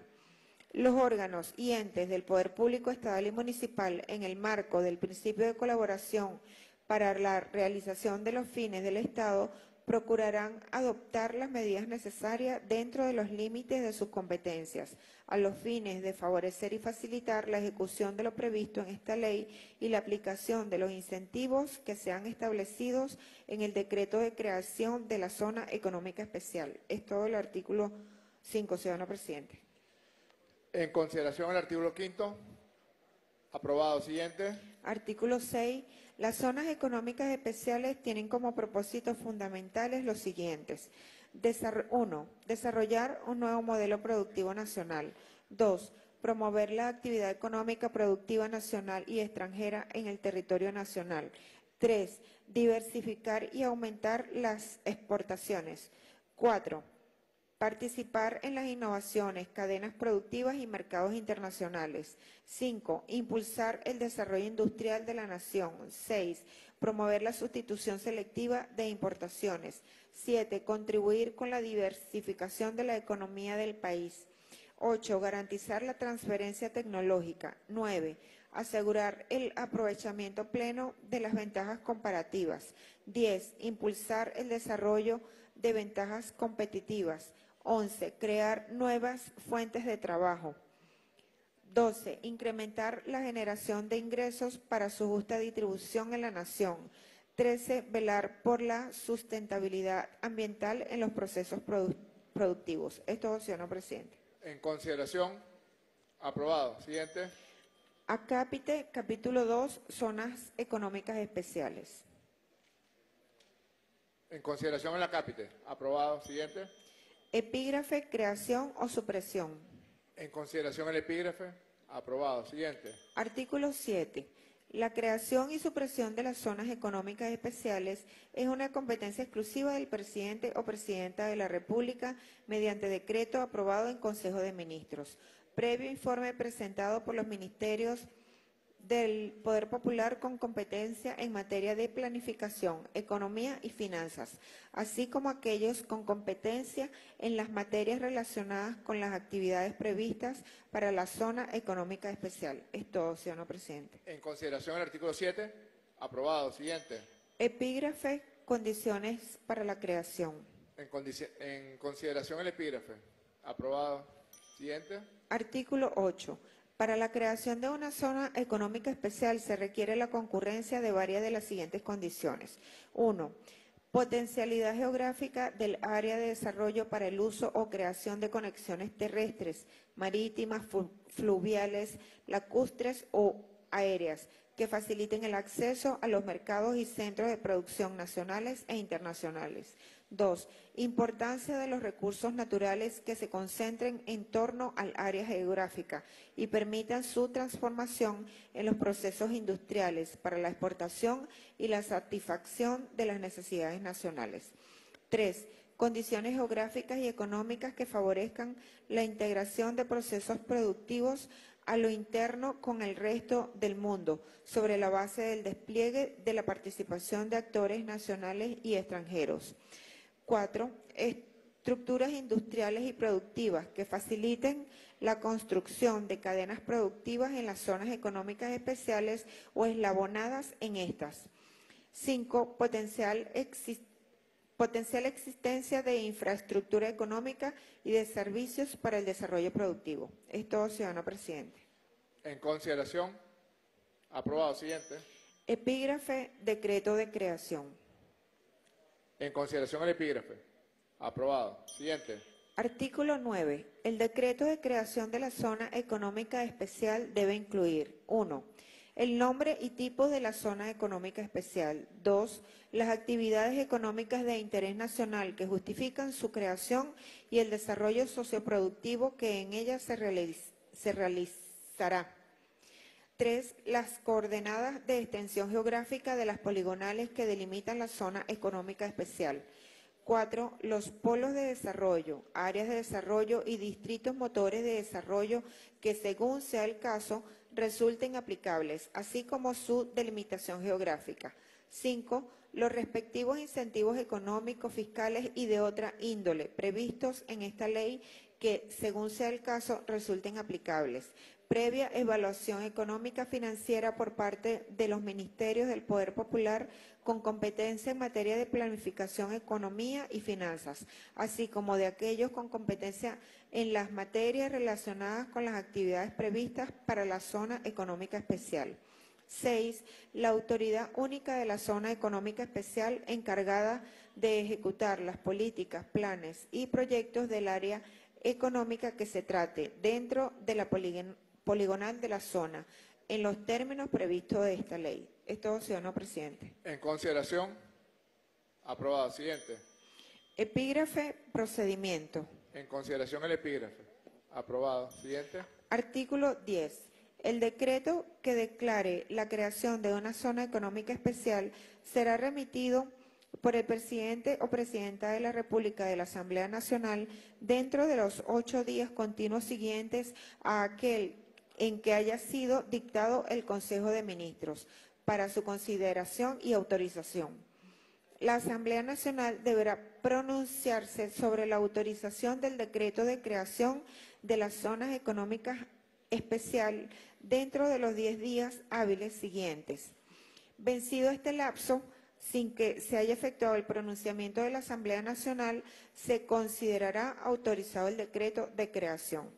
Esto, ciudadano presidente. En consideración el artículo 10.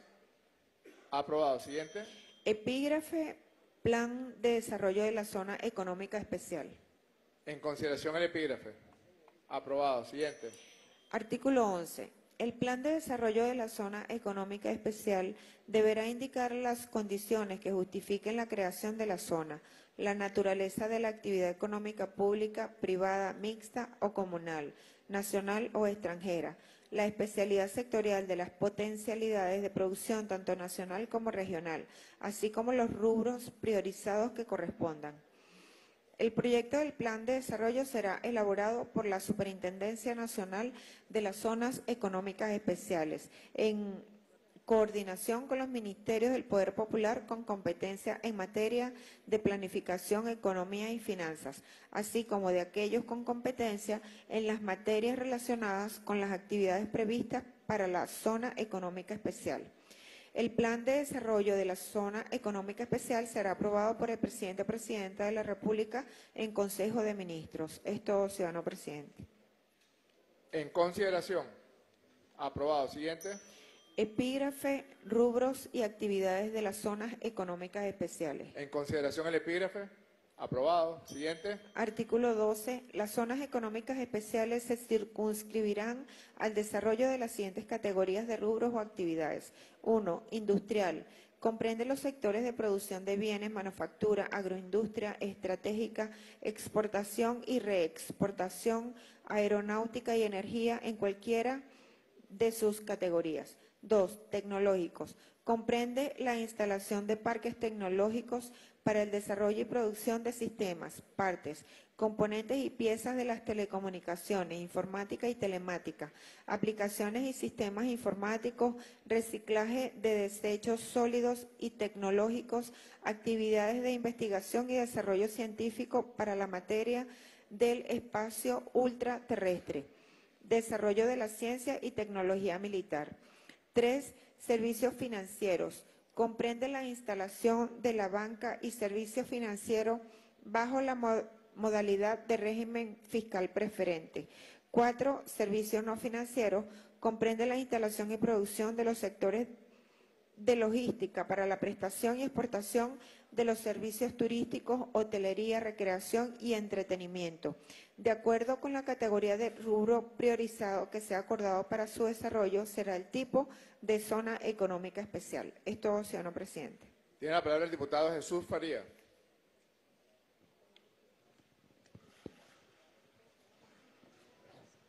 Gracias, presidente.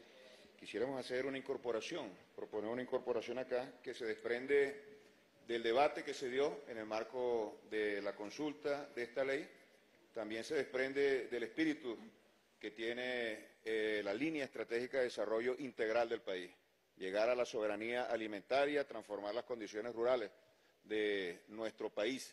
Aquí hace falta, y lo teníamos previsto, una zona o zonas económicas especiales agrícolas que se dediquen al desarrollo productivo en el ámbito agrícola. Entonces proponemos que se incorpore, nosotros pasaremos la redacción para que entonces podamos hacerlo debidamente. Eh, pero eh, antes de que culminemos hoy, por favor, eh, pase la redacción para poder votarla. Vamos a diferir el punto hasta que tengamos la redacción y continuamos, ¿ok? Gracias. Siguiente, secretaria. Epígrafe, creación de los distritos motores. En consideración. Aprobado el epígrafe. Siguiente. Artículo 13. Los distritos motores de desarrollo de las zonas económicas especiales podrán ser creados por el presidente o presidenta de la República en el decreto de creación de la zona económica especial, con el fin de fomentar un esquema de desarrollo subregional que permita ejecutar los objetivos históricos del Plan de Desarrollo Económico Social de la Nación, a partir de las potencialidades que ofrecen los espacios geográficos que la componen. Es todo, ciudadano presidente. En consideración. Aprobado. Siguiente. Epígrafe, fines de los distritos motores. En consideración el epígrafe. Aprobado. Siguiente. Artículo 14. Los distritos motores de desarrollo tendrán por finalidad articular y desarrollar sinergias productivas dentro de las zonas económicas especiales, con visión de complementariedad y como eje dinamizador de la integración y desarrollo regional. Las estrategias de especialización económica que conforman los distritos motores de desarrollo de las zonas económicas especiales considerarán las potencialidades del área geográfica de que se trate. De la misma forma, dentro de los distritos motores de desarrollo de las zonas económicas especiales, se implementarán las acciones que permitan impulsar las obras y servicios esenciales en las subregiones con mayor, perdón, con menor desarrollo relativo, disminuyendo las asimetrías espaciales, democratizando la accesibilidad y estructura de soporte social y económico de la población. Es todo el artículo 14, señor presidente. En consideración. Aprobado. Siguiente. Epígrafe, eslabones productivos. En consideración el epígrafe. Aprobado. Siguiente. Artículo 15. Las áreas delimitadas como zonas económicas especiales desarrollarán eslabones productivos con el objeto de compartir estrategias de complementariedad económica y cumplir las necesidades de bienes finales y prestación de servicios estratégicos para la nación. Es todo, ciudadano presidente. En consideración. Aprobado. Siguiente. Acápite, capítulo 3, institucionalidad para el control y administración de las zonas económicas especiales. Vamos a aprobar el acápite, luego le doy la palabra al diputado Faría. En consideración al acápite, capítulo 3, aprobado. Tiene la palabra el diputado Jesús Faría. Gracias, presidente. Solamente para solicitar el diferimiento de la discusión, de esta segunda discusión, y continuar en la próxima sesión con la segunda parte de, de esta ley, de esta importantísima ley. Antes de votar el diferimiento, diputado, ¿tiene ya la redacción del artículo donde se incorporaba las zonas agrícolas? Lo estamos redactando en este momento y yo propongo Lo diferimos que para el jueves. Ok, queda diferido entonces para el jueves lo correspondiente al artículo 12. 12. 12. ¿De acuerdo? Artículo 12. Y queda aprobada la ley hasta el acápite correspondiente al capítulo tercero con la salvedad del artículo 12 que será discutido el próximo jueves. Las diputadas y los diputados que estén de acuerdo, antes deben votar, antes de ausentarse diputados y diputadas. Las diputadas y los diputados que estén de acuerdo con el diferimiento de la discusión de la ley de zonas económicas especiales en su segunda discusión, sírvanse manifestarlo con la señal de costumbre. Queda aprobado. Siguiente punto del orden del día, secretaria. Agotada la agenda, presidente. En consecuencia, se levanta la sesión. Nos vemos el jueves, queridas diputadas y queridos diputados. Cuando el reloj en Caracas, Venezuela marca las 5 y 25 minutos de la tarde, colocamos punto final lo que ha sido esta jornada parlamentaria. Tres puntos fundamentales aprobados, entre ellos el proyecto de acuerdo con motivo de conmemorarse los 48 años de las relaciones diplomáticas China-Venezuela. También este proyecto de acuerdo con motivo a celebrarse el 27 de junio, Día Nacional del Periodista. Y por supuesto se aprobaron 13 artículos correspondientes a la segunda discusión del proyecto de ley de zonas económicas especiales, instrumento legal que sin lugar a dudas buscan coadyuvar la economía nacional. Esta es la información que se ha generado desde el microciclo de sesiones y cuando son las 5 y 26 minutos de la tarde despedimos esta transmisión.